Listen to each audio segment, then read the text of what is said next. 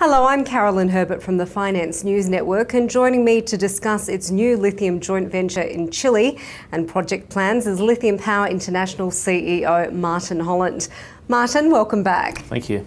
Now, for investors who aren't familiar, can you start by giving us an introduction to Lithium Power International? So, Lithium Power International was incorporated to focus on the commodity lithium and to be a pure play lithium explorer and now developer.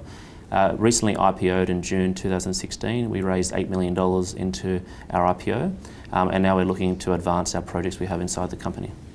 And Marty, now to the Maricunga project. What attracted you to it? Uh, what does it contain and what is planned? So the asset itself is a world-class lithium brine deposit. Uh, it's probably it's been rated the fourth best deposit in the world as it currently sits, and with further exploration, it can get to being the second best lithium brine deposit in, in the world, and second only to that as the Atacama, which is run by Soquimich. The grade itself is very attractive. It's almost twice the grade as the Argentinian assets, such as Orocobre, etc. Um, and there's also a, a, good credit of potash as a byproduct as well, which will which will become quite valuable as a, as the time moves on. Um, a number of other reasons as well. A number of the tenements are on old code, which allows exploiting of the lithium straight away. Um, it's right next to the main highway, which is Highway 31, which um, joins Argentina and Chile together. Uh, very close to port. The, um, the Argentine assets have to cross border pay extra taxes to Chile, etc., and further away from port. So we're close to the port, close to infrastructure, the highest grade deposits sort of going around, closest to production, and the list goes on. So we're very excited for a company to have this opportunity um, to earn into a, a, project with a Chilean family office who is very well respected, um, and will continue with our government our relations building um, and trying to get this project into production over the next few years.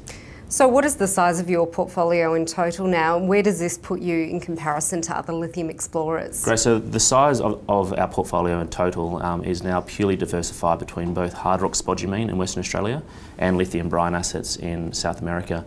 So we have two assets in hard rock um, in, in, the Pilbara region, uh, which is the new hotspot for hard rock lithium. Uh, we've also got assets in the Greenbushes region, next to the largest lithium mine in the world.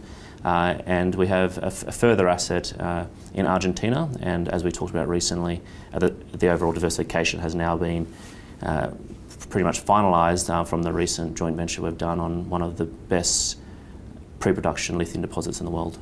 And Martin, in terms of news flow, what can shareholders expect over the coming months? So shareholders will expect the closure of the joint venture agreement.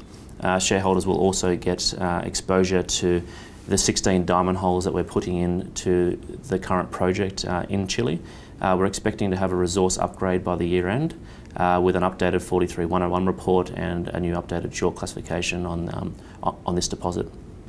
And finally, Martin, with Tesla opening its multi billion dollar gigafactory, the future of lithium looks pretty well assured. So, what's your long term ambition for Lithium Power International? Well, our, our long-term ambition necessarily isn't that long-term. Uh, we'll have a bankable feasibility study completed by the end of, of 2018.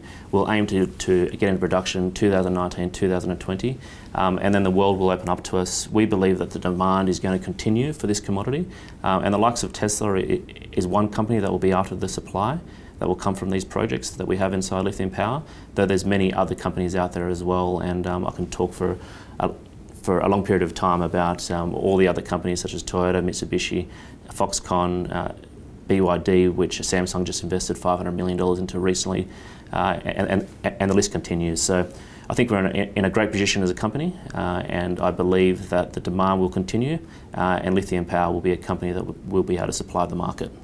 Martin Holland, thanks for the update on Lithium Power International. Great, and thanks for your time again, I appreciate it.